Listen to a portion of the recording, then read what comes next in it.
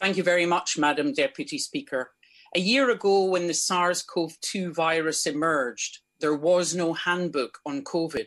All governments had to feel their way, but there's little excuse for repeatedly making the same mistakes a year on.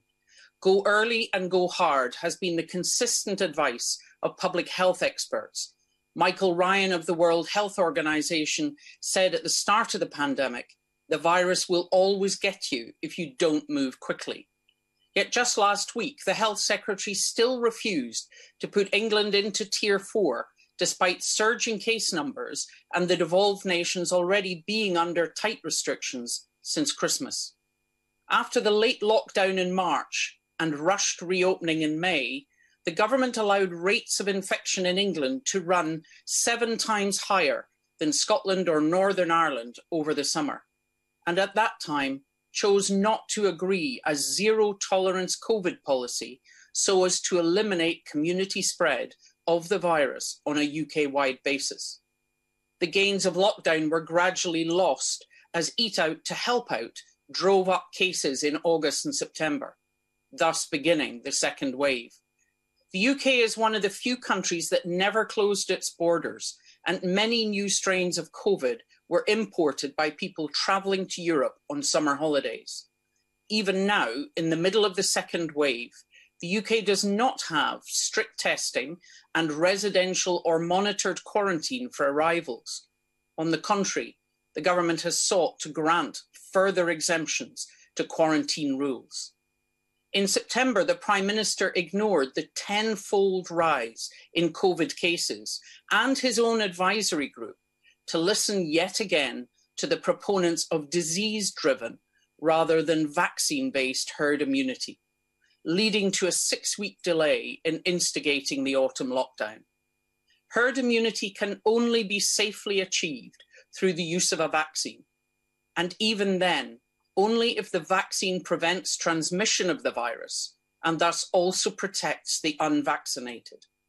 That is the hope, but we do not yet know if either of the vaccines used in the UK will achieve this.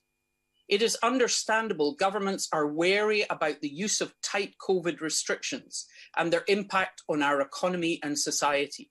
But it is a false dichotomy to set public health against the economy, lives against livelihoods. People simply choose not to endanger themselves or their families and need to have confidence that the risk of catching the virus is very low. Allowing increased levels of spread and therefore high rates of viral replication, also contributes to more frequent mutations and increases the risk of generating yet more problematic new variants.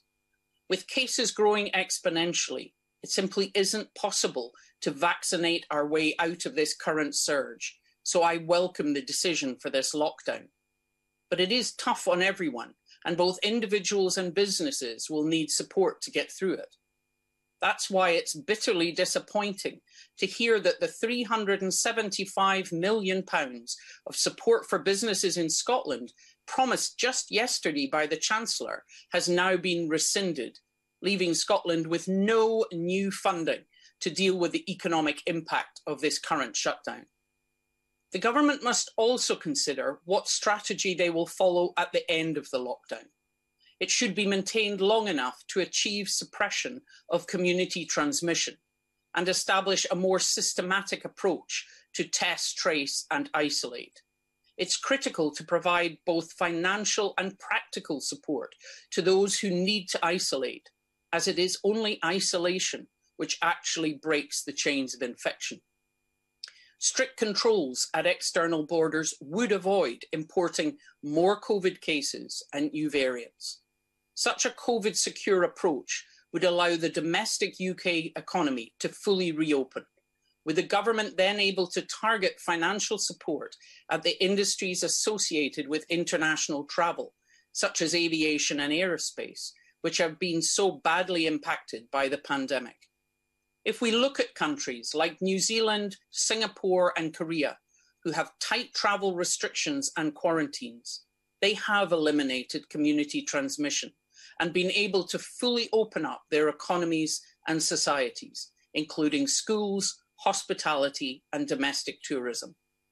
We only have to look at their Christmas and New Year celebrations to see what could be on offer to us here if we get things right.